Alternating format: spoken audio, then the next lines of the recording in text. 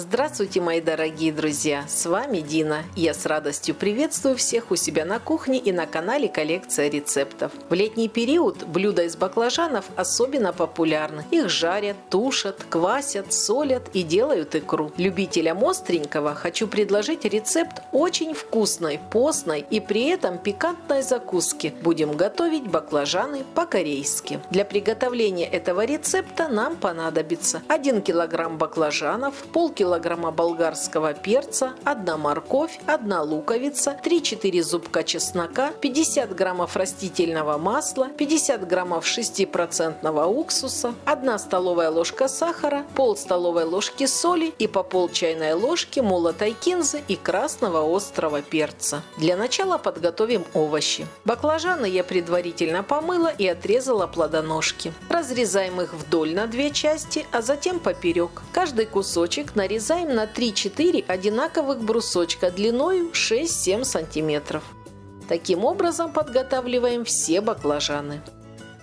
Далее по рецепту идет сладкий болгарский перец. Я взяла красный и желтый, очистила от семян и удалила перегородки. Нарезаем его длинной соломкой, но не слишком тонко. Таким способом нарезаем весь перец.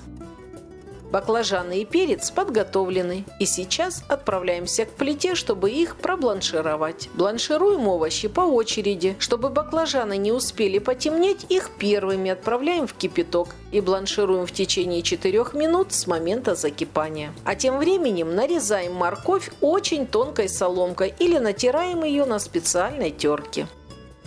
Следом нарезаем одну крупную луковицу соломкой или полукольцами как можно тоньше и перекладываем в ту же чашу. Руками слегка разминаем лук, чтобы он более равномерно распределился при дальнейшем перемешивании. Далее измельчаем чеснок. Я натираю его на терке, но можете его порезать или выдавить через пресс. Тем временем прошло 4 минуты. Наши баклажаны пробланшировались, достаем их шумовкой и выкладываем на дуршлаг, чтобы стекла лишняя вода. В этот же кипяток отправляем болгарский перец и бланшируем 2 минуты с момента закипания. Спустя 2 минуты достаем перец и тоже выкладываем на дуршлаг.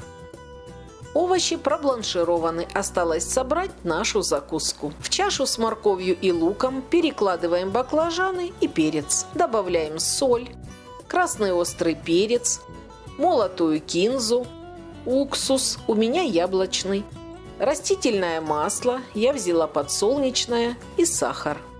И теперь все хорошо перемешиваем.